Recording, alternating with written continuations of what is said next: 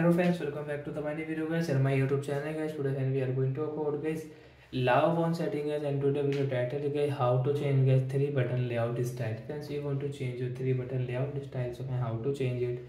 Today friends, I will show you. I will tell you in this video guys. So first of all guys, open your phone setting to change guys your three button layout style. Friends, you can see my back button is here. I want to change in my left side. So how can I change? Let's see.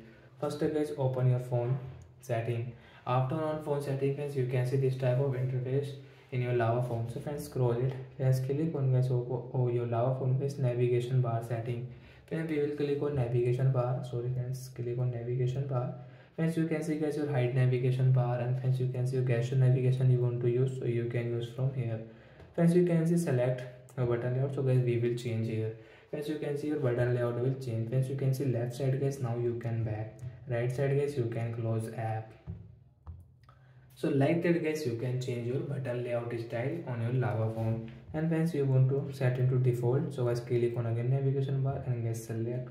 Click on default option. Once you can see your right side guys you can back. Left side you can close app. And once you want to use guys your gesture settings. So guys click on your navigation bar. Gesture setting then guys your button layout will remove it. So once you can back right and left side you can close app so I hope friends you understood how to use gesture navigation setting and friends how to change the three button layout style on lava phone. So guys now we will set button layout. So guys click on guys your key option. So guys your button layout will set. So like that guys you can use guys this navigation bar setting on your lava phone device. So that's it again. Thanks for watching the video. Friends, depend how it to guys your navigation setting. You can ask me comment section guys. I will check. I will help you. Bye bye guys. And before going, please go and like the video, subscribe the channel guys.